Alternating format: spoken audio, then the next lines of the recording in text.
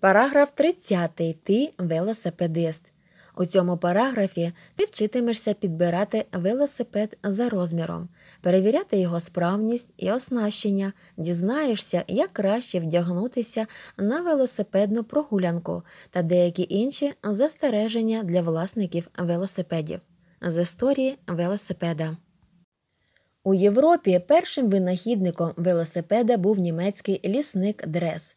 У 1813 році він приробив до самоката руль. Наступним винахідником став робітник Дальзель. У результаті тривалих пошуків він винайшов педалі.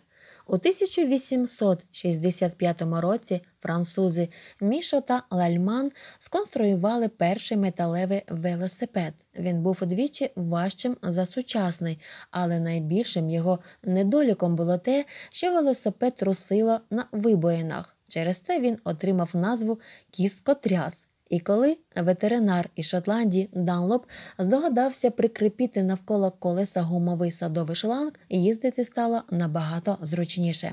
Спочатку з велосипедистів сміялися, був час, коли поліція намагалася заборонити велосипеди, вважаючи, що вони заважають дорожньому рухові. Нині цей легкий, маневрений і порівняно дешевий та екологічний від транспорту набуває дедалі більше популярності в усьому світі.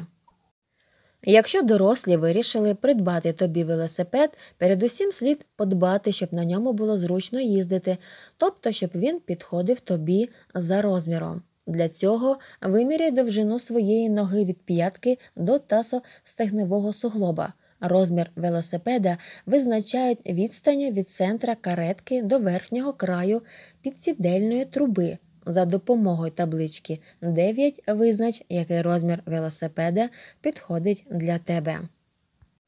Де краще купувати велосипед? Відповідь проста в магазині. Тут він може коштувати дорожче, ніж на ринку, однак гарантію якості дають тільки в магазині. Поза магазином ризикуєш придбати дешеву підробку і повернути неякісний товар неможливо. Не забудь зберегти касовий чек і гарантійний талон. Це документи, які дають право на гарантійний ремонт та на повернення товару в магазин. Перш ніж сісти за кермо велосипеда. Отже, велосипед придбано та не поспішай сідати за кермо. Спочатку ознайомся з інструкцією, особливо уважно прочитай розділи, в яких йдеться про безпеку дорожнього руху, а також ті, що починаються словами увага та обережно. Разом з батьком чи кимось із дорослих огляньте велосипед, перевірте кріплення деталей, роботу всіх вузлів, напомпуйте шини, елементи конструкції, що впливають на безпеку руху. Ось як повинен бути оснащений твій велосипед, щоб поїздка на ньому була приємною і безпечною. Позаду ліхтар або світловідбивач червоного кольору, справний звуковий сигнал, дзвінок, з боків світловідбивачі помаранчевого кольору. Під час руху дорогу в сутінках і в умовах недостатньої відомості попереду повинен бути світловідбивач або фара білого кольору. Справні гальма. А тепер сядь на свій новий велосипед. Випробуй його на рівній ділянці на великому підйомі та спуску. Тобі зручно чи добре слухається кермо, чи надійно працюють гальма. Якщо все гаразд, катайся на здоров'я.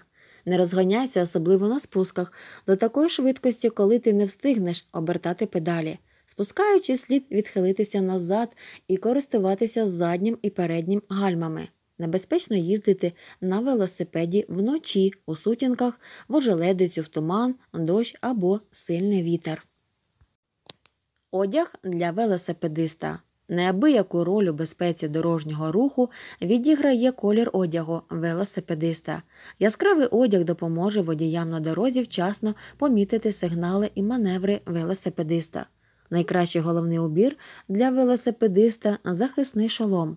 У багатьох країнах без нього давно заборонено їздити на велосипеді. І не дивно, адже 75% жертв велосипедистів загинули в аваріях саме від черепно-мозкових травм, а скількох врятував захисний шолом. Тут не може бути ніяких сумнівів чи вагань, жодної велосипедної прогулянки без захисного шолома. Влітку згодиться футболка, в холодну погоду куртка з тупкої тканини, яка не продувається і не промакає. Під неї найкраще вдягати одяг з натуральних тканин, бавовняну футболку і вовняний свитер.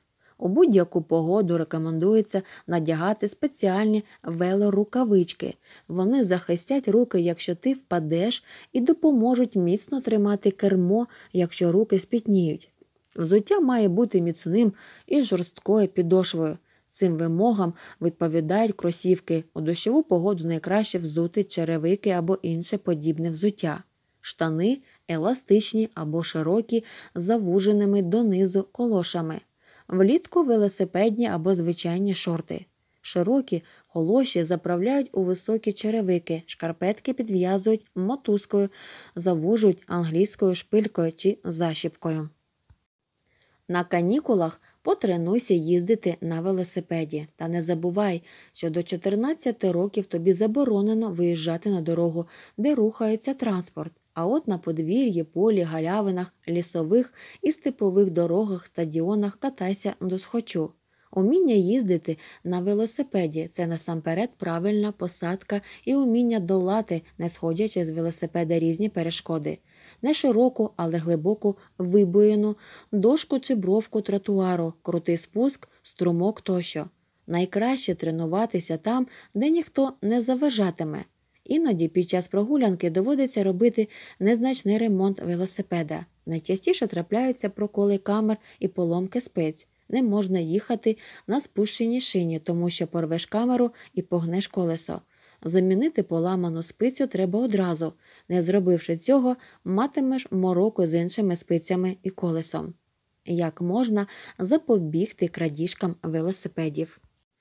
Підсумки. Велосипед легкий, маневрений, відносно дешевий та екологічний вид транспорту.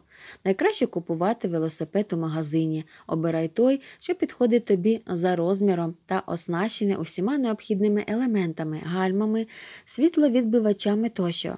Велосипедисту необхідно розвивати увагу і мати швидку реакцію. Дітям до 14 років їздити на велосипедах дорогою заборонено. Крадіжки велосипедів поширений злочин. Не дозволяй кататися на своєму велосипеді незнайомим або малознайомим людям. Залишаючи велосипед без нагляду, прикріпи його до дерева або огорожі спеціальним замком.